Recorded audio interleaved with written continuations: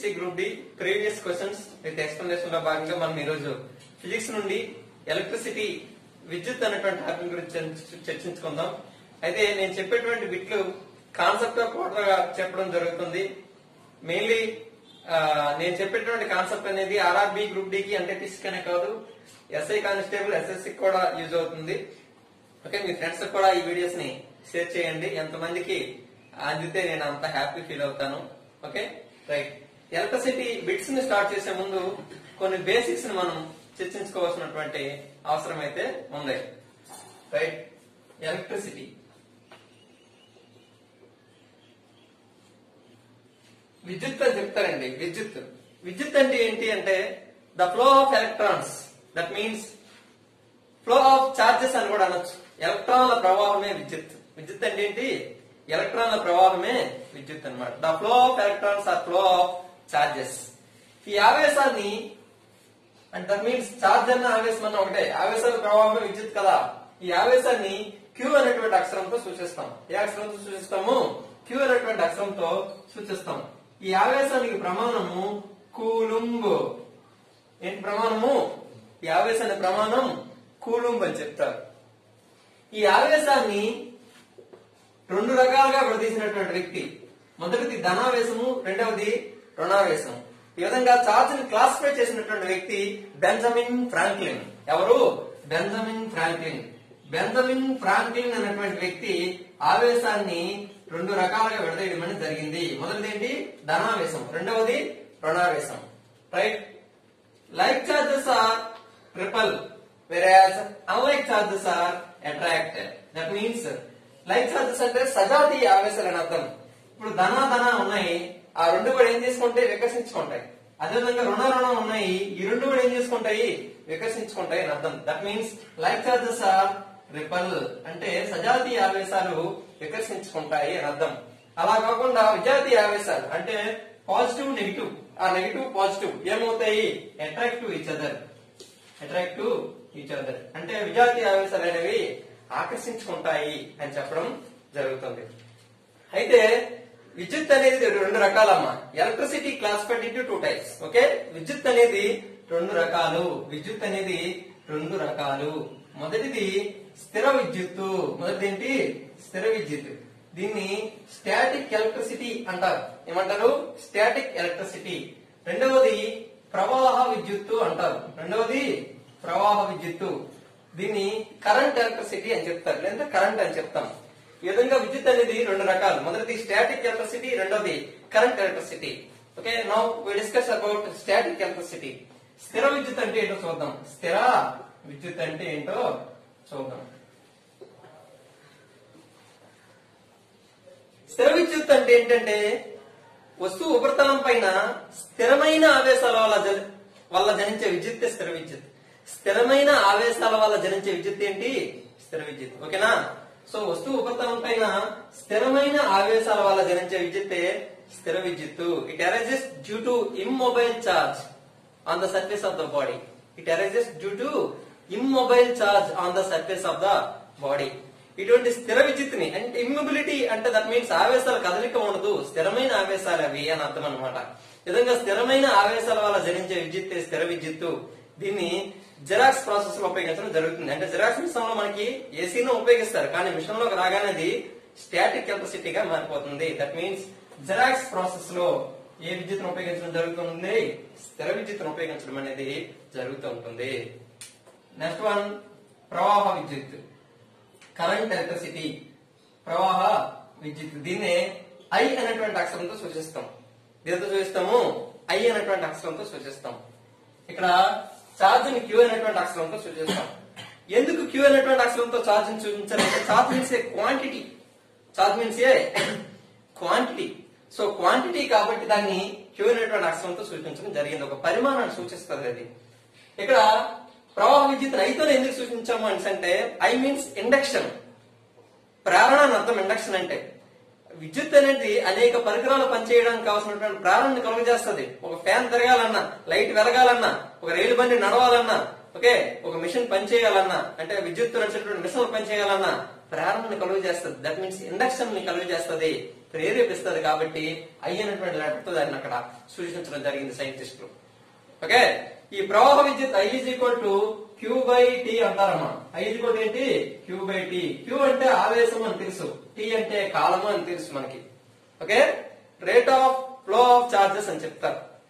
Rate of flow of charges ఒక second కాలంలో ప్రవహించే ఆవేశాల సంఖ్య ప్రవాహ విద్యుత్.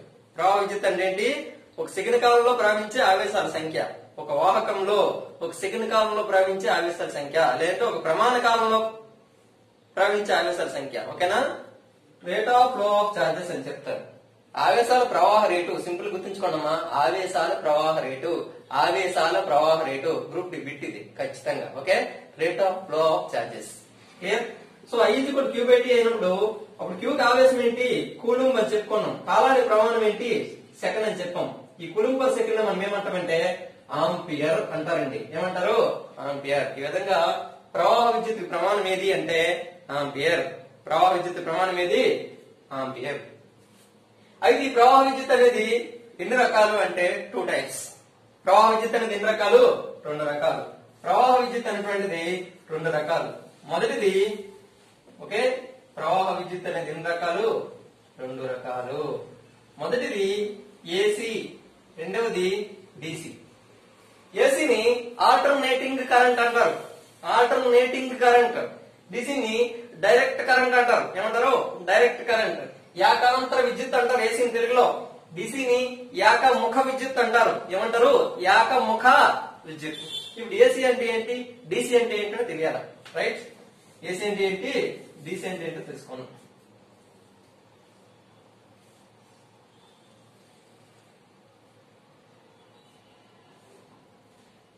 వలయంలో విద్యుత్ ప్రవాహ దిశ. ధనాత్మకం నుండి రుణాత్మకంకు మళ్ళీ రుణాత్మకం నుండి ధనాత్మకంకు ఏకాంతంగా మారే విద్యుత్తే ఏసీ అని చెప్తారు. ఏకాంత విద్యుత్ అని చెప్తారు. The direction of flow of current varies from positive to negative and negative to positive alternatively understand the direction of flow of current is always varies from positive to negative and negative to positive alternatively అంటే వలయంలో విద్యుత్ ప్రవాహ దిశ ధనాత్మకం నుండి రుణాత్మకంకు రుణాత్మకం నుండి ధనాత్మకంకు ఇలా ఏకాంతరంగా మారే విద్యుత్తే ఏకాంతర విద్యుత్తు AC alternating current అంటారు. పట్టుకుంటే షాక్ కొడుతుంది. రైలు నడపడానికి కానివ్వండి. ఓకేనా? టు డ్రైవ్ ద ట్రైన్స్ అదేవిధంగా మనం ఇళ్ళలో కానివ్వండి. వ్యవసాయం అగ్రికల్చర్ సంబంధించినటువంటి ఫీల్డ్స్లో కానివ్వండి. వీటన్నిటికి కూడా ఏసీనే మనం ఉపయోగించడం జరుగుతుంది. ఓకే రైట్ నెక్స్ట్ డీసెంట్ ఇంటర్ ఏంటో చూద్దాం. డీసీ అంటే direct current okay direct current ఎలా ఉంటుందంటే the direction of flow of current is always unique or same the direction of flow of current is always unique or same అంటే వలయంలో విద్యుత్ ప్రవాహ దిశ ఎల్లప్పుడూ ఒకేలా ఉంటుంది. వలయంలో విద్యుత్ ప్రవాహ దిశ ఎల్లప్పుడూ ఒకేలా ఉంటే దాన్నే మనం ఏమంటాము? ఏకముఖ విద్యుత్తు అంటారు. ఏమంటారు? ఏకముఖ విద్యుత్ okay this kind of current is drawn from batteries ఇటువంటి విద్యుత్ మనం దేని నుండి పొందవచ్చు అంటే బ్యాటరీల నుండి మనం పొందవచ్చు? దేని నుండి పొందవచ్చు? బ్యాటరీస్ నుండి పొందవచ్చు. అండర్స్టాండ్ నాట్ రైట్ అయితే డీసీని పట్టుకుంటే షాక్ అయితే మాక్సిమం కొట్టదు. ఓకే ఇప్పుడు మనం క్లియర్ ఏసీని డీసీగా మార్చేటువంటి డివైస్ ఏమంటారని అడుగుతున్నాడు చాలా కాంపిటేటివ్ ఎగ్జామ్లో. ఏసీని డీసీగా మార్చేటువంటి పరికరం ఏది అంటే రెక్టిఫైర్ ఇది రెక్టిఫై దీని తెలుగులో ధిక్కరిణి అంటారు. ధిక్కరిణి అంటారు. ఇలా మార్చే విధానాన్ని అంటే ఏసీని డీసీగా మార్చేటువంటి విధానాన్ని రెక్టిఫికేషన్ అంటారండి. రెక్టిఫికేషన్ రెక్టిఫికేషన్ దాన్ని అంటే తెలుగులో ధిక్కారము అని చెప్తారు. ఏసీని డీసీగా మార్చేటువంటి పరికరం ఏదంటే? ధిక్కరిణి. ఆ మార్చే విధానమే ధిక్కారము అని చెప్తారు. For example a rectifier example mobile charger mobile charger ఎందుకంటే మనం పంపించేది ఏసీ కానీ ఆ ఛార్జర్లోకి వెళ్ళగానే అది ఎలా కన్వర్ట్ అయిపోతుంది? డీసీగా మారిపోతుంది. అందుకే మనకి మొబైల్ ఛార్జర్ పట్టుకున్నా మనకి ఆ చివరిని పట్టుకున్నా సరే మనకి షాక్ పట్టదు. కారణం ఏంటంటే అది డీసీగా కన్వర్ట్ అయిపోతుంది కాబట్టి. కాబట్టి mobile charger is a rectifier understand not next మరి డీసీని ఏసీగా మార్చేటువంటి ఏవైతే డౌట్ వస్తుంది? డీసీని ఏసీగా మార్చేటువంటి డివైస్ ఇన్వర్టర్ ఇన్వర్టర్ ఓకే మన ఇళ్ళలో వాడతాం కదా పవర్ లేనప్పుడు. ఆ ఇన్వర్టర్ అనేది డీసీని ఏసీగా మార్చేటువంటి పరికరం అనమాట విద్యుత్తును తమ గుండా పంపించే ధర్మం ఆధారంగా వస్తువులు మూడు రకాలు. అంటే మెటీరియల్స్ అనేవి త్రీ టైప్స్ మొదటిది విద్యుత్ వాహకాలు అంటే ఎలక్ట్రికల్ కండక్టర్స్ రెండవది సెమీ కండక్టర్స్ అర్ధవాహకాలు మూడవది ఎలక్ట్రికల్ ఇన్సులేటర్స్ అంటే విద్యుత్ బంధకాలు. విద్యుత్ వాహకాలు అంటే ఈ టాపిక్ నేను కంపల్సరిగా గ్రూప్ డికి ఒకటి వస్తుందండి ఓకేనా? ఎన్టీపీసీ కూడా చూస్తాం. విద్యుత్ వాహకాలు. ఎలక్ట్రికల్ కండక్టర్స్ అంటే ఏంటి అసలు? These materials allow flow of electricity through them these materials allow flow of electricity through them ఏ పదార్థాలు అయితే తమ గుండా విద్యుత్తును ప్రసారం చేస్తాయో అటువంటి వాటిని విద్యుత్ వాహకాలు అంటారు. క్లియర్ అయితే ఆ విద్యుత్ వాహకాలకి ఉదాహరణ ఏంటి అంటే ఎగ్జాంపుల్ వెండి. ఓకే అర్జెంటినం రాగి కాపర్ అల్యూమినియం ఫెర్రస్. ఇలా. అదేవిధంగా మానవ శరీరం హ్యూమన్ బాడీ తడి చెక్క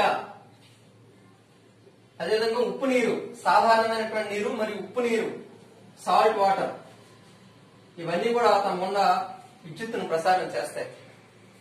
కారణం ఏంటి అసలు? ఎక్కువ సంఖ్యలో విద్యుత్తును తమ గుండా ప్రసారం చేయడానికి ఎలక్ట్రికల్ కండక్టర్స్ ఎక్కువ మొత్తంలో విద్యుత్తును తమ గుండా ప్రసారం చేయడానికి కారణం. మనకు తెలుసు. విద్యుత్ అంటే ఎలక్ట్రాన్ల ప్రవాహమే అని. Okay? Electricity is nothing but flow of electrons అని ఫస్టే చెప్పుకున్నాము ఈ ఎలక్ట్రాన్స్ అనేవి స్వేచ్ఛగా చలించేటువంటి ఎలక్ట్రాన్లు అనేవి ఈ వాహకాల్లో వీటిల్లో ఎక్కువ అనమాట ఓకేనా? స్వేచ్ఛగా చలించేటువంటి ఎలక్ట్రాన్లు ఎక్కువగా ఉండడం వల్లనే స్వేచ్ఛగా చలించే ఎలక్ట్రాన్లు అనేవి వీటిలో ఎక్కువ. కాబట్టి ఇవి అధిక మొత్తంలో విద్యుత్తును ప్రసారం చేస్తున్నాయి. క్లియర్ ఫ్రీగా మూవ్ అయ్యేటువంటి ఎలక్ట్రాన్స్ అని ఎక్కువగా ఉండబట్టే ఎక్కువగా విద్యుత్తుని ప్రసారం చేయడం జరుగుతుంది. అయితే ఈ ప్రపంచంలోనే ద బెస్ట్ ఎలక్ట్రికల్ కండక్టర్ ఏది? ఓకే? బెస్ట్ ఎలక్ట్రికల్ కండక్టర్ ఏది అంటే వెండి అని చెప్తాం. వెండి. తరువాత రాగి. అత్యుత్తమ విద్యుత్ వాహక పదార్థం వెండి. వెండి తరువాత రాగి. The best electrical conductor silver followed by copper. Understand చేస్తాము విద్యుత్ బంధకాలు ఎలక్ట్రికల్ ఇన్సులేటర్స్ ఎలక్ట్రికల్ ఇన్సులేటర్స్ అంటే these materials never allow flow of electricity through them ఎట్టి పరిస్థితుల్లోనూ తమకుండా విద్యుత్తును ప్రసారం చేయని వాటిని విద్యుత్ బంధకాలు అంటారు. ఫర్ ఎగ్జాంపుల్ వజ్రం. ఫర్ ఎగ్జాంపుల్ వజ్రం డైమండ్ అదేవిధంగా plastic example polyvinyl chloride PVC అదేవిధంగా రబ్బర్ నెక్స్ట్ పొడి చెక్క. పొడి చెక్క. చెక్క చెక్క? పొడి చెక్క. అదేవిధంగా శుద్ధమైన నీరు. శుద్ధమైన ఇటువంటి ఇంప్యూరిటీస్ లేనటువంటి నీరు ఇటువంటి లవణాలు లేనటువంటి నీరు శుద్ధమైన నీరు పిహెచ్ కూడా సెవెన్ ఉన్నటువంటి నీరు. తన గుండా విద్యుత్ ఎట్టి పరిస్థితుల్లోనూ ప్రసారం చేయదు. శుద్ధమైన నీరు. సార్ ఎందుకు సార్ ఇవి బంధకాలుగా ఉన్నాయి? ఎందుకు తమ గుండా విద్యుత్ ప్రసారం చేయమంటే freely moving electrons is equal to zero in these materials freely moving electrons is equal to zero స్వేచ్ఛగా చలించినటువంటి ఎలక్ట్రాన్ల సంఖ్య ఇక్కడ సున్నా. కాబట్టి తమ గుండా విద్యుత్తును ప్రసారం చేయవు. అయితే ద బెస్ట్ ఎలక్ట్రికల్ ఇన్సులేటర్ అయితే అడిగాడు అనుకోండి. అత్యుత్తమ విద్యుత్ బంధక పదార్థం. వజ్రం. అత్యుత్తమ విద్యుత్ బంధక పదార్థం ఏది? వజ్రం. క్లియర్ రైట్ మూడవది అర్ధవాహకాలు. ఈ అర్ధవాహకాల పరిస్థితి ఏ విధంగా ఉంటుంది అంటే అర్ధవాహకాల పరిస్థితి. మనకి వాహకాల గురించి తెలుసు. బంధకాల గురించి తెలుసు. వీటి పరిస్థితి ఎలా ఉంటుందంటే వాహకాల కన్నా తక్కువ విద్యుత్ని బంధకాల కన్నా ఎక్కువ విద్యుత్ని ఇవి ప్రసారం చేయడం జరుగుతుంది. The conductivity of these materials is greater than insulators and less than conductors అటుకి ఇటుకి మధ్యస్థంగా ఉంటాయి అర్ధవాహకాలు వాహకాలు. అంత ఎక్కువ విద్యుత్తుని ప్రసారం చేయలేవు.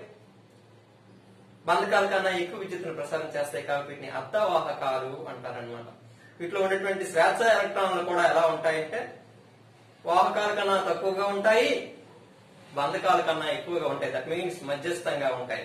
For example silicon and germanium silicon మరియు జెర్మేనియం అనేటువంటివి అర్ధవాహకాలు సిలికాన్ మరియు జెర్మేనియం అనేటువంటివి అర్ధవాహకాలు ఇవి బేసిక్స్ కొంతమేర వీటిని తెలుసుకొని మనం ప్రీవియస్ బిట్లు RRB NTPC group D constable SI బిట్లని explain చేసుకోవడానికి ప్రయత్నం చేద్దాం. ఒకసారి బిట్లో వెళ్దాం which elements is the best conductor of electricity which element is the best conductor of electricity option A silver option B copper option C aluminium option D iron కింది వాటిలో అత్యుత్తమ విద్యుత్ వాహక పదార్థం ఏదని అడిగాడు. కింది వాటిలో అత్యుత్తమ విద్యుత్ వాహక పదార్థం ఏదని అడిగాడు. ఓకే మనకు తెలుసు అత్యుత్తమ విద్యుత్ వాహక పదార్థం ఏది? వెండి. సో ఆప్షన్లో వెండి ఇచ్చాడు కాబట్టి ఇది ఆన్సర్ అవుతుంది. వెండి ఉత్పత్తి ఏమవుతుందంటే? కాపర్ అవుతుంది.